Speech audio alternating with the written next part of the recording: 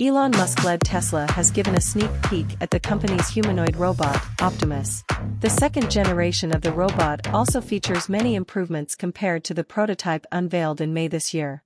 Tesla CEO Elon Musk has revealed the second generation of his company's humanoid robot Optimus in a video shared on X, formerly Twitter.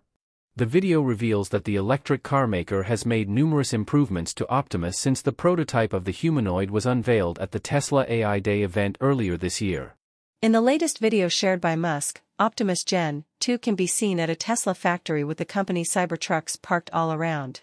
The video shared by Tesla noted that Optimus Gen 2 is 30% faster than the prototype unveiled in May, and also weighs 10 kilograms less.